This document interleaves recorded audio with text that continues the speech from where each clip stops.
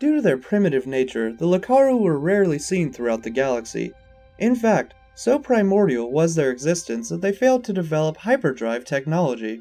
Despite this, their homeworld, Lakar, became a hotspot for interstellar trade during the Clone Wars. Pharmaceutical companies such as Chiewab, Merisee Prime, and Fabreth Medical all established major research facilities across Lakar. Unfortunately, their drive for the planet's valuable organic compounds drove the Lakaru deeper into the lush jungle environment.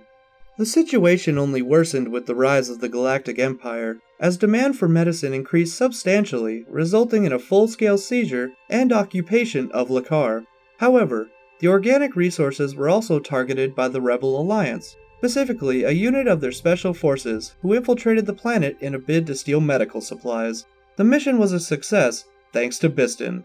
The 22 year old Lakaru used well thrown rocks and spears to fight off Imperial pursuers. This act of ferocity and tenacity impressed the Spec Force commandos so much that they offered him to join their fight. Bistan eagerly accepted. Despite facing an entire galaxy unlike his homeworld, Bistan was quick to master modern technology. Moreover, driven by adrenaline, he came to relish combat and truly felt alive behind the repetitive recoil of an M45 ion blaster. Bistan's never-ending supply of energy made him a popular figure among the Alliance's soldiers, though his personal file listed multiple incidences of insubordination. More often than not, the Lakaru was spotted directing covering fire from the main entry hatch of a U-Wing fighter during flight and landing operations. His ability to pour such accurate and deadly streams of anti-personnel fire dated back to his days on Lakar. Having evolved in jungle canopies, Bistan and others developed exceptional spatial awareness, keen eyesight, accurate depth perception, and quick reflexes. More importantly, however, the Lakaru were very sure-footed beings.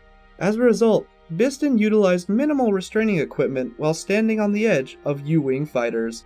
All of these traits combined made the young warrior a top sharpshooter.